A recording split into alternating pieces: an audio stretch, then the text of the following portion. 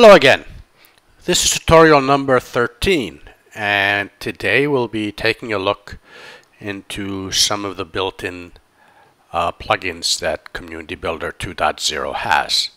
So let's just go to the plugin management area in the back end and we'll see a number of plugins. We're going to be looking at the CB Articles plugin right now. Uh, if we notice in the front end, if we visit, for example, the let's just log in.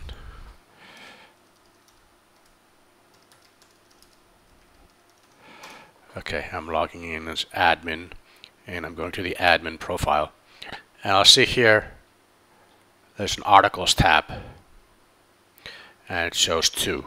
If I click on it, I basically see two articles that this user has authored in Joomla. So let's just go, we see basically the name of the article, which category, and when it was created. So these are the three columns that appear. And there's also a search area. And if the articles are more than 10, there's paging enabled. Uh, let's just go to the back end again and look at the CB Articles plugin and click on it. We'll see that besides the global parameters, there's a parameters tab and there's two subtabs, general, which has a template and a class you can uh, you can override here. Uh, there's only one template right now, default. Maybe in an advanced tutorial we'll show you how to create more templates here. Uh, articles subtab has the model parameter and it's currently set to auto detect. If we click on this we see there are two modes here, Joomla and K2. If somebody has installed K2 uh, on his website and uses K2 for his uh, website content, then you might want to select K2 here. We can leave it either at auto detect for our tutorial or Joomla. Let's just put it on Joomla. And once we select Joomla, it asks us if we want to exclude some categories. Uh, right now, if I click on it, I'll see the I basically have two categories here, one uncategorized and another called website content. Let's just keep this the way it is. I'm not excluding anything. So save and close. Now, the CB Articles plugin also has a CB Articles tab, the Articles tab. And we see in the description here that this the Articles tab is basically associated with the CB Articles plugin. That's here.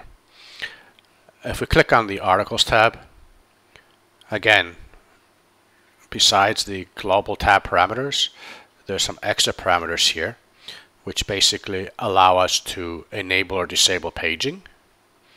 We can set the page limit. I mentioned 10. I guess the default is 15. And we can select to either disable or enable the searching. So let's just keep this the way it is initially. Save and close.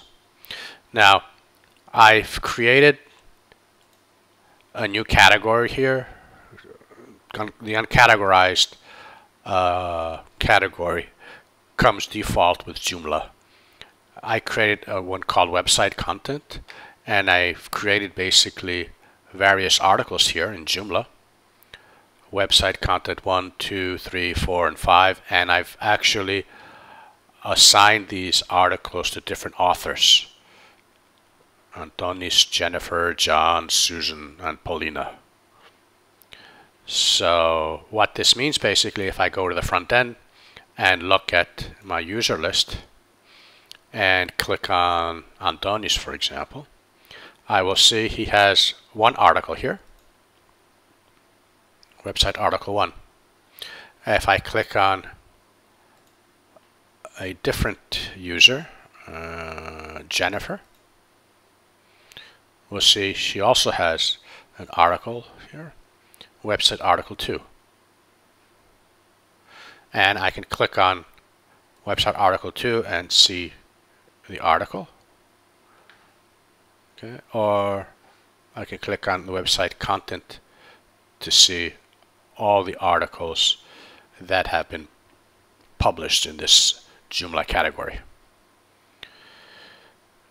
So this is a way basically to uh, allow your users to participate in your website and if they actually have uh, published article content, other users can see what each user has published just by looking in the articles tab.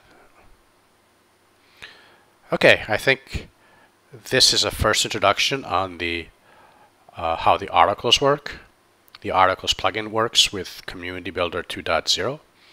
Uh, in the next tutorial, I'll be showing you how to link the author of a Joomla article back to the author's profile. So basically right now, we've shown you how to go from the articles tab to the article. And in the next tutorial, we'll show the reverse, how to go from an article back to the uh, author profile. Thanks for listening. Bye for now.